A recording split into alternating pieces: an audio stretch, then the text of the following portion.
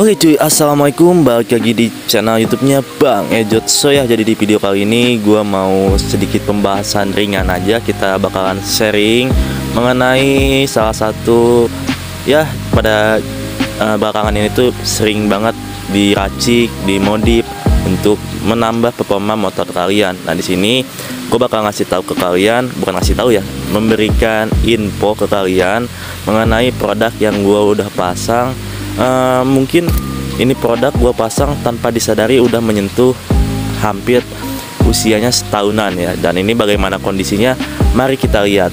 Nah ini dia produknya ya. Mungkin uh, kalian juga udah pada tahu ya. Uh, kalian juga udah pada tahu melihat di bagian judul dan thumbnail. Jadi gue bakal bahas mengenai ini dia nih. Jadi ini ini dua produk ini sih yang standar dan ini yang racing ya. Nah yang racing ini gue udah pakai kurang lebih hampir setahun di Scoopy gue dan Scoopy gue ini uh, awalnya itu gue pakai di pas spek masih standar dan sampai sekarang yang spek udah naik juga. Dan ini bisa kalian lihat nih bentukannya. Ini gue pakai yang 10 gram ya ini punya bintang racing team yang warna hitam ini. Ini bentuk ini udah hampir setahun.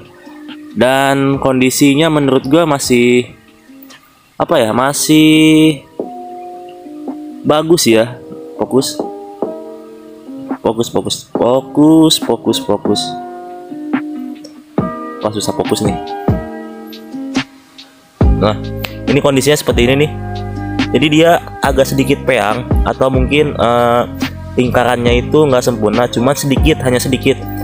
Tapi ini gue pakai harian loh ini motor dan cuman ya cuman gini doang apa namanya uh, kondisinya. Nggak sampai parah banget peangnya gitu. Apa ya bahasa Indonesia peangnya? Pokoknya itu ya. Jadi uh, kondisinya ini masih menurut gue masih bagus-bagus ya sih. Nah kondisinya seperti ini.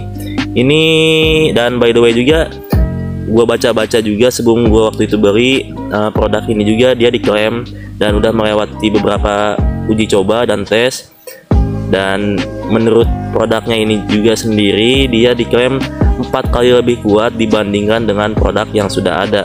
Dan menurut gue sih ya betul ini produknya menurut gue ini termasuk awet sih ya. Ini ada tiga nih. Ada tiga tuh bentukannya masih ya masih segini mah masih ibarat kata masih bagus lah. Nah ini kita bandingin nih sama yang standarnya nih.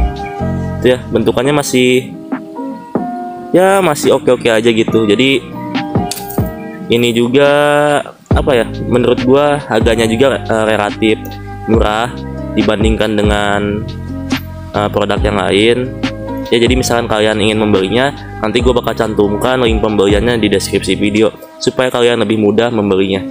Nah ini dan gue udah pasang di Scoopy gue pemakaian harian harian kerja lah ya tapi harian nggak capek-capek amat gitu ya. Dan bentukannya masih is okay is okay, is okay aja cuy. Jadi menurut gua misalkan kalian ingin mem membeli uh, apa alatnya bisa menjadi rekomendasi buat kalian nih. Salah satu produk yang menurut gua ini awet. Kenapa gua bilang awet? Karena pengalaman udah gua ngalamin juga gitu cuy. Dan by the way juga setiap uh, kenapa gue bisa awet kemungkinan kali ya kemungkinan. Ini gue uh, kadang-kadang suka servis CPT dibersihin CPT-nya itu dua bulan sekali atau tiga bulan sekali. Jadi uh, apa ya jadi si kondisi si di bagian CPT itu dia masih tetap bersih cuy. Nah ini nih ini 10 gram ya. 10 gram gua, gua waktu itu pakai uh, puas 10 gram di spek mesin gua. Dan masih enak-enak aja sih ya. Ini nih.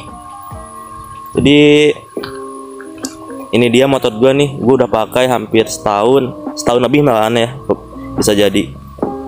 Gue pakai di sini masih awet-awet aja. Jadi misalkan kalian ada yang mau ditanyakan tentang produk ini mungkin um, gue bakal jawab sepengalaman gue aja. Nanti bisa tanyakan di kolom komentar. Kita sharing mengenai produk ini ya.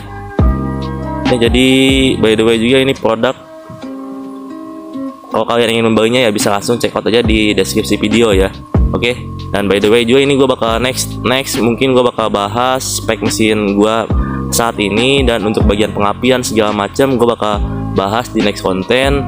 Uh, karena kemarin juga kita udah sempet review ini Scoopy-nya.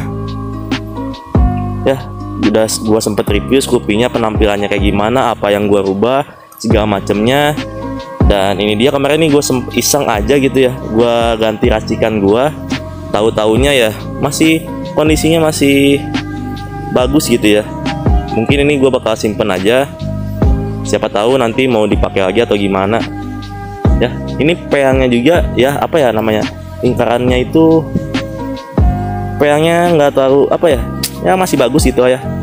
Jadi rekomen lah menurut gue ya mungkin uh, video ini kita hanya sharing aja mengenai pengalaman gua menggunakan alat BRT Bintang Racing Team ya. Jadi apa yang diklaim menurut produknya ini menurut gua betul dia empat kali lebih kuat dibandingkan dengan produk yang lain. Karena gua juga pernah menggunakan produk yang lain uh, akan tapi tidak seawet ini.